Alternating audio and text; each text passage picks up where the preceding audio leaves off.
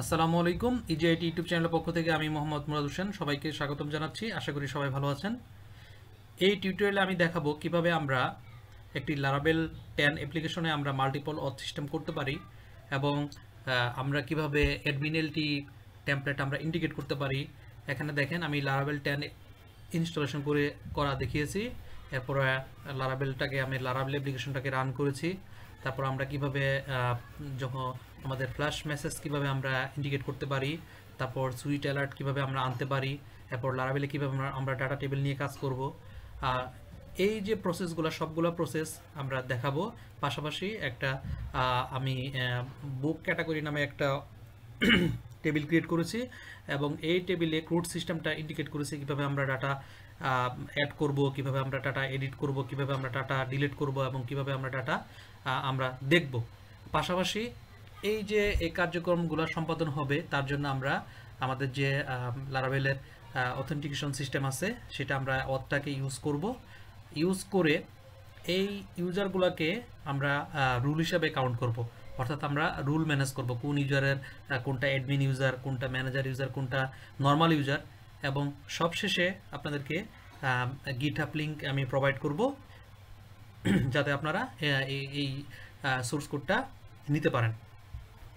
ওকে, চলুন তাহলে আমি দেখাই যে কি আছে আমার এই স্টার্টার কিটে চলুন শুরু করি।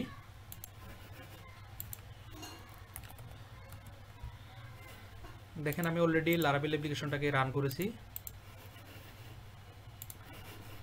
আচ্ছা এখন আমি লগ ইন করব। আমি প্রিভিয়াস একটা ইউজার দিয়ে আমি লগ ইন করতেছি।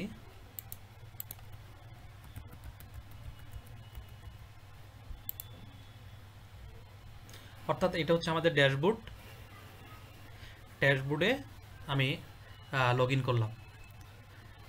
সর্বপ্রথমে দেখেন, এই যে আমি ইউজার লিস্টে যদি দেখি, আমার এখানে তিনটা ইউজার আছে অ্যাডমিন পারমিশন দেওয়া আছে অ্যাডমিন ইউজার ম্যানেজার ওকে তাহলে যখন কোনো নতুন ইউজার যখন রেজিস্ট্রেশন করবে, তখন সে একজন ইউজার হিসেবে আমার এখানে ডিফল্টভাবে রেজিস্ট্রেশন করবে। আচ্ছা আমরা একটা ইউজার রেজিস্ট্রেশন করি, তাহলে দেখি। আমি একটা ট্যাব দিচ্ছি।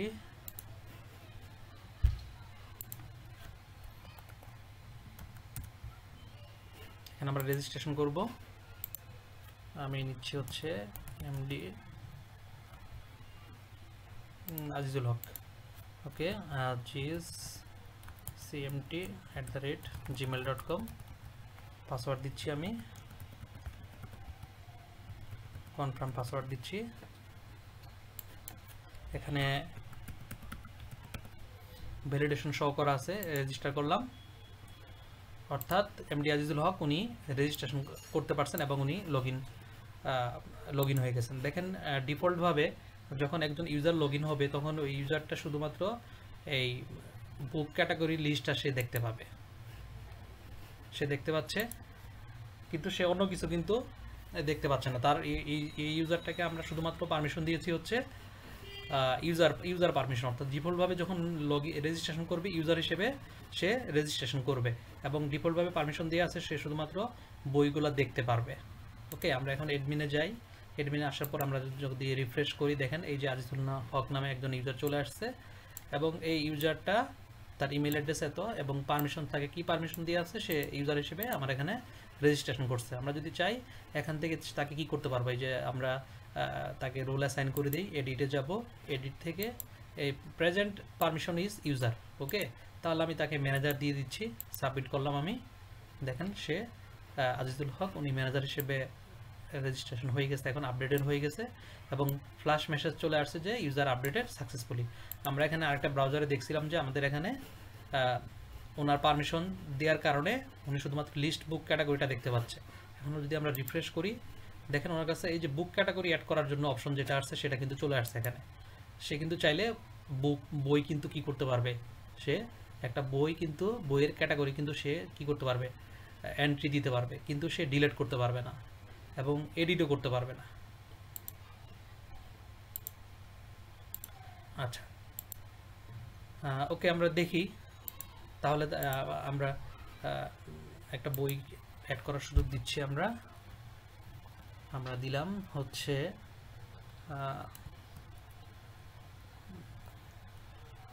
লিনাক্স নেটওয়ার্কিং ওকে নাম দিচ্ছি লিনাক্স নেটওয়ার্কিং সাবমিট করলাম আমরা। দেখেন, এই যে লিনাক্স নেটওয়ার্কিং এই বইটা কিন্তু চলে আসছে। এবং যদি আমরা অ্যাডমিন থেকেও দেখতে পারি লিস্ট বুক ক্যাটাগরি দেখেন আমার লিনাক্স নেটওয়ার্কিং কিন্তু চলে আসছে।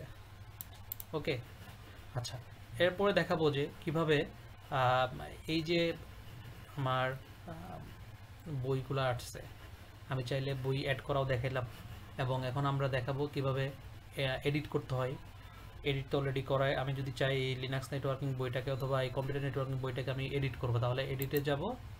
এডিটে যাওয়ার পরে আমি এই যে শুধু কম্পিউটার নেটওয়ার্কিং দিলাম সাবমিট করলাম। দেখেন আমার কম্পিউটার নেটওয়ার্কিং কিন্তু চলে আসছে। ওকে আমি যদি চাই যে আমার যে ইউজারটা এই লিনাক্স নেটওয়ার্কিং যে তৈরি বইটা যে এন্ট্রি দিছে, এটা আমি কি করে ডিলিট করে দিব? যদি আমি চাই, এখানে ডিলিটে ক্লিক করব, দেখেন আমার এখানে কিন্তু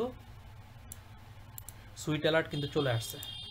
ওকে ডায়লগ বক্স চলে আসছে।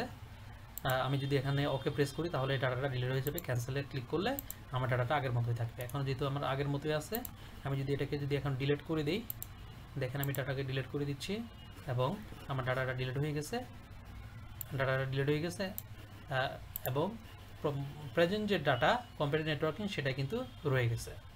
ওকে এখানে কিন্তু কোনো, আমার নোটিফিকেশন মানে আমাদের এই ফ্ল্যাশ মেসেজ নোটিফিকেশন কিন্তু এখানে আমি ইন্ডিকেট করিনি, আমি এখানে সুইট অ্যালার্টকে ইন্ডিকেট করে দিছি। ওকে ঠিক একইভাবে আমরা যখন কোনো অ্যাপ্লিকেশন তৈরি করব, আমরা যাতে আমাদের শুরু থেকে কাজ না করতে হয়, এটাকে কিন্তু আমরা একদম লারাবেল টেনের ভাষণ ইউজ করে স্টার্টার টেম্পলেট হিসেবে কিন্তু ইউজ করতে পারবেন। দেখেন লারাবেলের ভাষণ কত ইউজ করেছি আমি আপনি আপনাদেরকে দেখাই। এই যে লারাবেল ভাষণ টেন আচ্ছা এই যে আমাদের এই লারাবেল অ্যাপ্লিকেশনটা এটাকে আমরা এখন কীভাবে আপনারা, আপনাদের পিসিতে আপনারা ডাউনলোড করতে পারবেন এবং ডাউনলোড করে কীভাবে আপনারা এটাকে স্টার্টার কিট হিসেবে ইউজ করবেন সেটা আমি আপনাদেরকে দেখাবো সম্পূর্ণ প্রসেসটা দেখাবো। চলুন শুরু করি আবার শুরু করি। এই যে দেখুন, এটা হচ্ছে আমার গিটল্যাব রিপোজিটারি এখান থেকে এটা পাবলিক রিপোজিটারি করা আছে। আপনারা এখান থেকে ইজিলি ডাউনলোড করতে পারবেন। তো আমরা ডাউনলোড করে নিচ্ছি। জিপ ফাইলটাকে আমরা ডাউনলোড করে নিচ্ছি।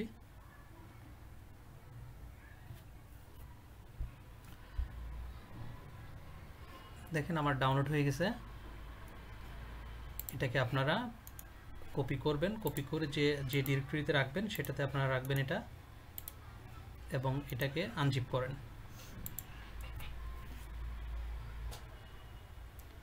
আচ্ছা এই প্রজেক্টটার আমি নাম দিচ্ছি হচ্ছে লারাবেল টেন ওয়েব ইআরপি অর্থাৎ আমি এই আমার মাল্টিওথ সিস্টেমটাকে আমি এক্সটেন্ড করে লারাবেল টেন ওয়েব ইআরপি করব। আপনারা আপনাদের মতো করে নাম দিবেন। নাম দেওয়ার পর যেটা করতে হবে, সেটা হচ্ছে এটাকে আপনারা ক্রেডিট এডিটর দিয়ে ওপেন করবেন। আমি এখানে ভিএস কোড ইউজ করতেছি।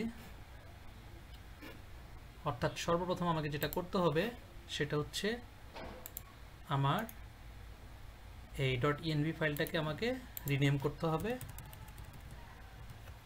আমি রিনেম করে আমাদের ডাটাবেজের নাম দিব লারাবেল টেন ওয়েব ইআরপি লারাবেল হ্যাঁ টেন ওয়েব ইআরপি কপি করলাম কপি করে এই ব্রাউজারে পিএসপি মাইডবিন যাব, আমরা ডাটাবেসটা তৈরি করে নিব। আচ্ছা ডাটাবেস তৈরি কাজ শেষ। এবার আমরা এখানে গিট বেস ওপেন করব। গিট বেস ওপেন করে আমরা কি জেনারেট করব? পিএসপি আর্টিসান কি জেনারেট ওহো, ওকে। আমাকে আগে প্রথমে কম্পোজার ইনস্টল করে নিতে হবে। Composer install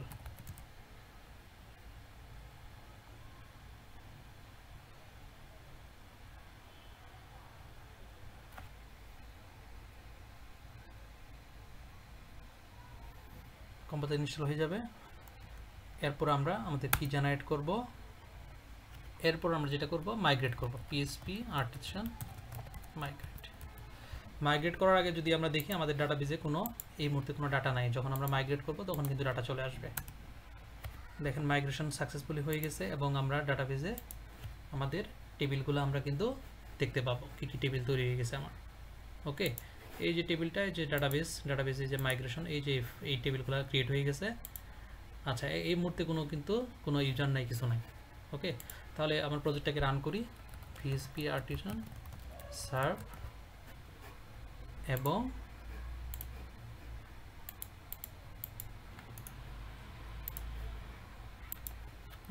npm run dev okay আমরা দেখি এখন। আমরা লোকাল হোস্টে ক্লিক করলে দেখেন আমার প্রজেক্টে চলে আসছে। ওকে আমরা এখানে রেজিস্ট্রেশন করব। দেখেন আমরা যখন রেজিস্টার করব, তখন কিন্তু সে ইউজার হিসেবে আমাদের রেজিস্টার হবে। আমি নাম দিচ্ছি এমডি মুরাদ হোসেন মুরাদ পাসওয়ার্ড দিলাম। One two three four five six seven eight two three four five six seven eight দেখেন রেজিস্ট্রেশন করলাম আমি। এবং সে ডিফল্টভাবে কিন্তু আমার একটা নর্মাল ইউজার হিসেবে এজ এ ইউজার হিসেবে সে কিন্তু লগ ইন হয়েছে। দেখেন রুল কত? থ্রি আমরা এটা যদি ওয়ান করে দিই, তাহলে কিন্তু দেখেন তার পারমিশনগুলো করসপন্ডিং যে পারমিশনগুলো সেগুলো চলে আসছে। আমাদের বই দেখতে পারতেছি মানে লিস্ট অফ বুক দেখতে পারব, তারপর বই অ্যাড করতে পারব। তারপর হচ্ছে ইউজার লিস্টটাও দেখতে পারব। আচ্ছা ইউজার ইউজার লিস্ট এই যে আমরা এখানে অ্যাডমিন এই যে আমাদের রুল পারমিশন কিন্তু অ্যাডমিন দেওয়া আছে এখানে। যদি নতুন কোনো ইউজার লগ করে, তাহলে যখন রেজিস্ট্রেশন করবে, সেই ইউজারটাও এখানে শো করবে। আমরা চাইলে কিন্তু এখান থেকে বই অ্যাড করতে পারি। এখানে যেহেতু কোনো বই নাই, আমি নেটওয়ার্কিং বইটাকে অ্যাড করলাম। কম্পিউটার নেটওয়ার্কিং ওকে সাবমিট দিলাম। দেখেন আমার বুক ক্যাটাগরি ক্রিয়েটেড আমার বুক ক্যাটাগরি ক্রিয়েটেড হয়ে গেছে, এই যে আমাদের ফ্ল্যাশ মেসেজ চলে আসছে। আমরা যদি এটাকে ডিলিট করতে চাই, আমাদের কিন্তু এই সুইটার নোটিফিকেশন শো করবে। আমরা যদি ডিলেটে প্রেস করি, তাহলে কিন্তু ওকেতে প্রেস করলে এটা ডাটা ডিলেট হয়ে যাবে। ওকে তো আশা করতেছি আমি আপনাদের এই স্টার্টার কিটটা আপনাদের কাজে লাগবে। এবং আপনাদের যদি কোনো পরামর্শ থাকে, অবশ্যই আপনারা কমেন্টস করবেন। আর হচ্ছে আপনারা যদি এই প্রজেক্টে কন্ট্রিবিউট করতে চান অবশ্যই আপনারা রিকোয়েস্ট পাঠাবেন। আর সবশেষে আপনাদের কাছে আমার একটা রিকোয়েস্ট যদি আপনি আমার চ্যানেলে নতুন হয়ে থাকেন, অবশ্যই সাবস্ক্রাইব করে পাশে থাকবেন। আর যারা অলরেডি সাবস্ক্রাইব করেছেন, তাদেরকে অসংখ্য ধন্যবাদ জানাচ্ছি। আপনাদের যদি কোনো পরামর্শ থাকে, অবশ্যই আপনারা কমেন্টস আকারে আপনারা লিখে দিবেন। আর লাইক কমেন্ট শেয়ার করে পাশে থাকবেন। ধন্যবাদ সবাইকে।